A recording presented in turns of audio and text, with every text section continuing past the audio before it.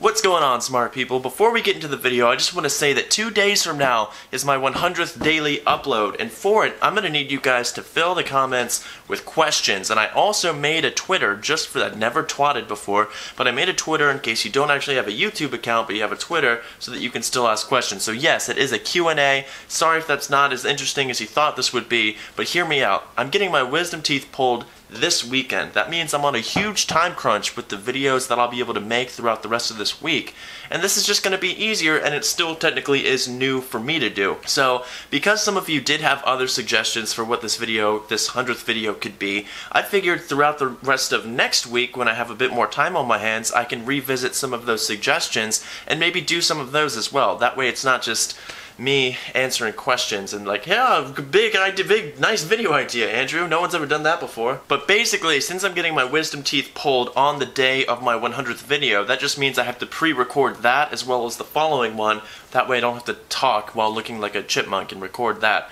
So, hope you guys understand, but that means that this video, this video specifically, is the one that I want you to make comments on. Not tomorrow's video, but this one. And I'll be going through these comments and the ones that are posted on Twitter, and then I'll probably cut it off sometime tomorrow uh, when I record the video. So probably sometime tomorrow around around 2ish is when you should stop posting questions because I'll already have started making the video. Moving on from that, I think you guys get the point by now. Today's video is very special. There's never been a more special video on YouTube than this one. No one's ever recorded a more important thing to talk about. I'm done with my code. What code am I talking about? For those of you who might be new, I have a research internship at Jefferson Lab and I'm effectively taking a Mathematica code, putting it up, making it more general, more user-friendly, putting it in Python, and yeah, that's about it. What is the code actually doing? Well, at Jefferson Lab, you're colliding electrons with protons and neutrons, all that good stuff. These neutrons and protons are what you think of is they're made out of three quarks, right? Sort of but also not really, because the binding energy uh, associated with the strong force holding this stuff together is enough to make particles be popping in and out of existence. So when you collide these particles together, did you really hit a quark though? These are the questions that you need to be asking yourselves. And you can split these collisions into a bunch of different regions, sort of.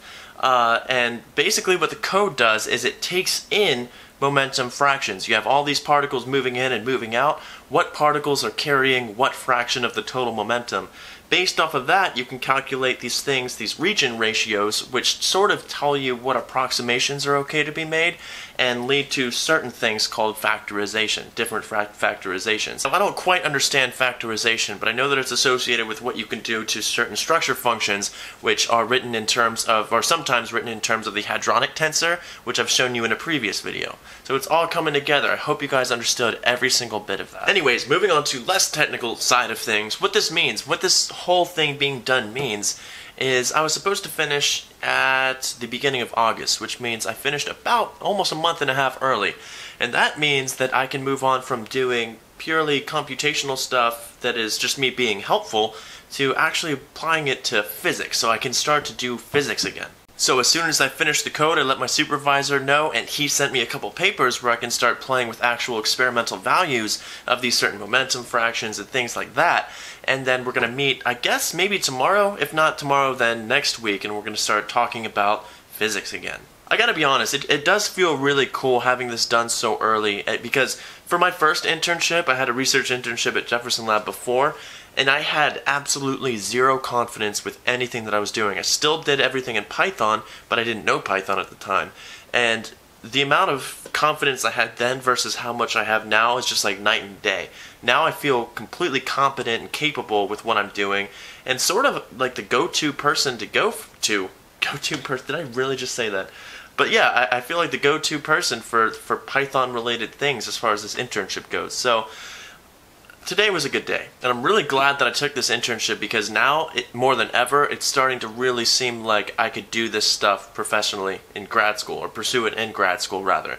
So, nuclear theory might actually be in my future. Coming for you, nucleuses. But that's gonna do it for this video. Don't forget to comment every question you've ever had about anything in the comment section or in Twitter. I'll leave a link to that in the description. I don't think anyone's ever posted on it yet because I made it very recently. So be sure to do that. See you guys there. Okay, bye.